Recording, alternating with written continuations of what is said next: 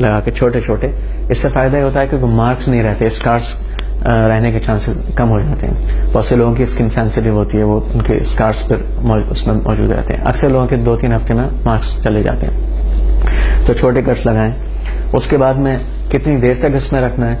پہلے تو دو تین منٹ کے لیے رکھیں، تین منٹ کے لیے۔ اچھا جب آپ پہلے ویکیوم کریٹ کر رہے ہوں گے کپس لگا کر، تو اس میں آپ کو اندازہ ہو جائے گا کہ کون سے پوائنٹ پر ہمیں زیادہ ریڈنس یا ڈارکنیس ملتی ہے، اس پوائنٹ پر اس کا مطلب ہے ہجامے کی زیادہ ضرورت ہے۔ تو آپ تھوڑا سا آلیو آئل لگانے کے بعد میں ایسا ہلکا سے ایک بس ویکیوم کریٹ کریں، اس کے بعد ایسا روٹیٹ کریں، اس کو گھمائیں، تو آپ کو ایک اندازہ ہو جائے گا کلر اسکن کا چینج ہونا شروع ہوگا۔ اگر ڈارکر ہے وہ ایریا تو اس کا مطلب وہاں ہجامے کی زیادہ ضرورت ہے۔ کچھ مریض سے ہی معلوم کر سکتے ہیں کہ آپ کو کوئی تکلیف ہے کہیں، تو وہ اس جگہ زیادہ کریں۔ کوئی تکلیف نہیں تو سنت والے پوائنٹس کو اختیار کریں۔ اور اس کے بعد جب کش لگا لیں، کش لگانے کے بعد پھر آپ جب پمپ کریں گے تو اس میں خون آنا شروع ہو جائے گا، آہستہ آہستہ۔ تو خون بس تھوڑی دیر کے لیے اس کو رہنے دیں، کچھ منٹ کے لیے رہنے دیں، اس کے بعد کب خالی کر لیں۔ اور پھر دوبارہ سے بھی اس کو لگا سکتے ہیں کیونکہ اس میں اوزنگ ہوتی رہتی ہے۔ اچھا اس میں یہ ضرور نہیں ہے کہ تین بار تک ہم اس کو سک کرنا ہے، یا پانچ بار تک کرنا ہے، یا دو بار تک، ایسا کوئی رول نہیں ہے۔ آپ ہو سکتا ہے، آپ نے ایک بار یا دو بار کیا اور اس کے بعد میں پلازما آنا شروع ہو جاتا ہے، اس میں ایک لیکوڈ سا وائٹ آنا شروع ہو جاتا ہے۔ اگر وہ آنا شروع ہو گیا، ایک سائن ہے کہ بھائی اب آپ اس کو روک دیں۔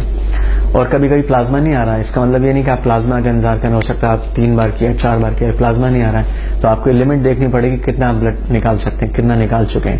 تو وہ رول نہیں آپ وہیں چھوڑ دیں اس کا اگر آپ ایک لمٹ کراس کر گیا ہے وہ، اس کے قریب میں، تو اتنے ہی آپ چھوڑ دیں اس کو۔ کٹس چھوٹے پہلے لگانے تاکہ اس دیر تک نہ ہو۔ اس میں۔ اس کے بعد میں آپ اس کو صاف کر دیں۔ صاف کرنے میں دوبارہ بیٹرنین استعمال کر سکتے ہیں، شہد بھی استعمال کر سکتے ہیں، آلیو آئل بھی استعمال کر سکتے ہیں، بلیک سیڈ آئل بھی استعمال کر سکتے ہیں۔ اور میں پریفر کرتا ہوں کہ صاف بیٹرین سے میں کرتا ہوں، اس کے بعد میں اینٹی بایوٹک پاؤڈر کا اسپرے بھی میں کرتا ہوں۔ اور اس کے بعد میں ان کو بتا دیتا ہوں کہ بھائی گھر جا کر آپ جو ہے آلیو آئل لگا لیں یا کچھ بھی لگا لیں۔ یہ مریضوں کے ساتھ میں ایسا کرتا ہوں، جب میں خود اپنے کرواتا ہوں تو میں بعد میں بس آلیو آئل یا شہد لگوا لیتا ہوں۔ اور اچھا کچھ پوسٹ ہجامہ پریکاشنس ہیں یا سجیشنس ہیں کہ ہجامہ کروانے کے بعد میں بہتر یہ کہ مریض مچھلی اس دن نہیں کھائے۔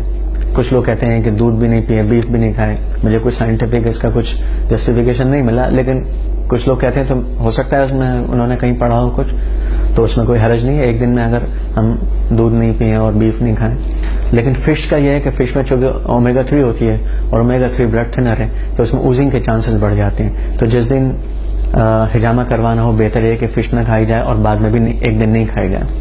اور ایسپرین وغیرہ بھی روکا جائے، بہتر یہ اور جس وقت ہجامہ کیا جائے تو بہتر ہے کہ پیٹ خالی ہو یا کم سے کم تین چار گھنٹے پہلے نہیں کھائے ہوا اللہ کے رسول صلی اللہ علیہ وسلم نے روزے کی حالت میں بھی ہجامہ کروایا، لیکن روزے کی حالت میں ہجامہ کروانا ضرور فرض نہیں ہے، مست نہیں ہے۔ بغیر روزے کے بھی ہجامہ کروا سکتا ہے آدمی۔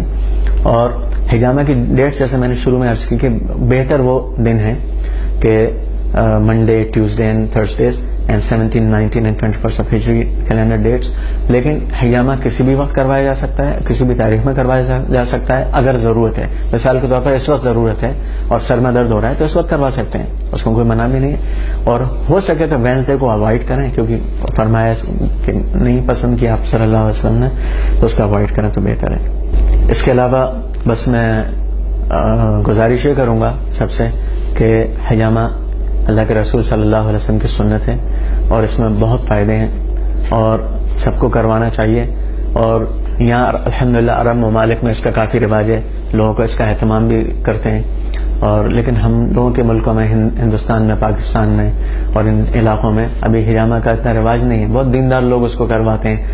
بلکہ بہت دیندار لوگوں کو اس کے بارے میں علم ہے، کرواتے وہ بھی کمی لوگ ہیں۔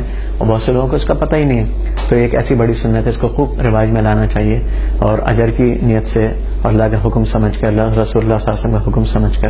اور انشاءاللہ فائدہ ضرور ہے اور یقینی ہے۔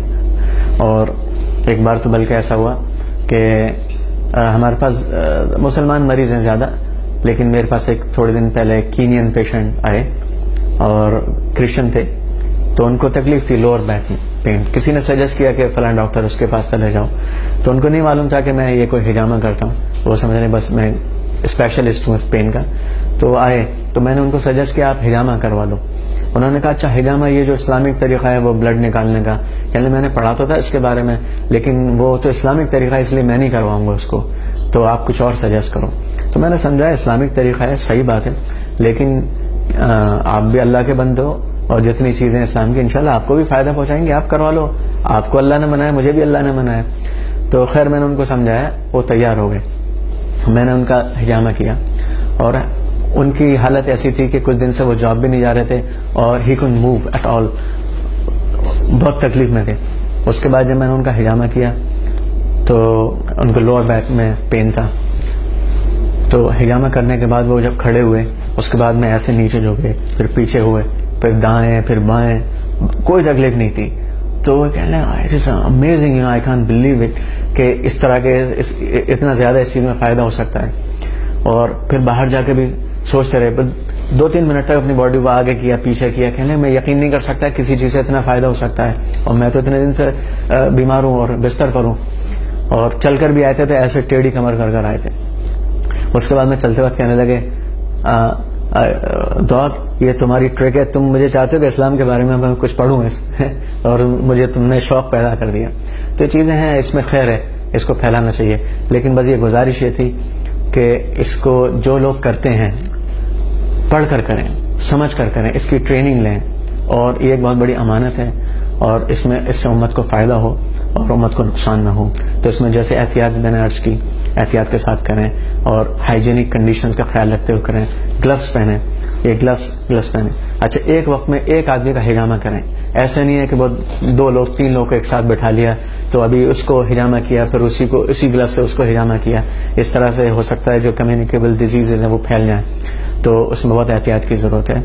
اور اپنی بھی صفائی ہو ایپرن پہنے، سر بھی ڈھکیں ان سب چیزوں سے انفیکشن کبھی کبھی سر میں کرنا ہوتا ہے، تو بہتر یہ کہ سر کے بالوں کو صاف کریں، کیونکہ اس میں انفیکشن کے چانسز بڑھ جاتے ہیں تو ان تمام احتیاط کو انشاءاللہ کر کے کریں گے تو انشاءاللہ فائدہ ہوگا السلام علیکم ورحمۃ اللہ